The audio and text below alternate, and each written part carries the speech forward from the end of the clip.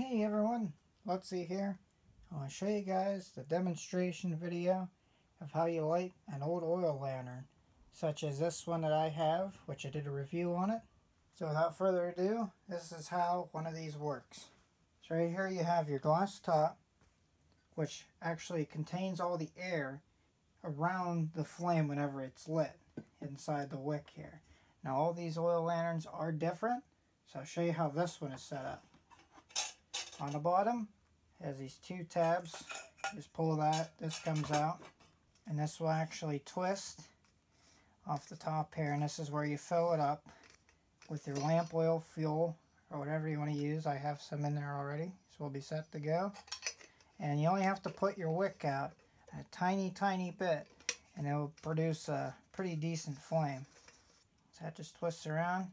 Turn your wick up with the little knob right there. So you can put it right about there. Just like that. Put it all back together. Close the little lid here. And she is ready to light. So all you have to do, open it up. This one you might have to remove the glass for. Get your lighter, or light the wick there. Flame will come, might smoke a little bit.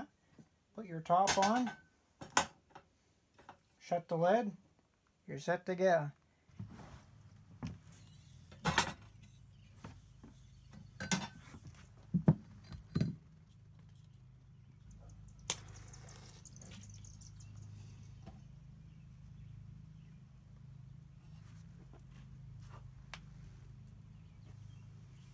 And just like that, that is how an old oil lantern works. Hopefully you guys enjoy. Want to see more videos like this?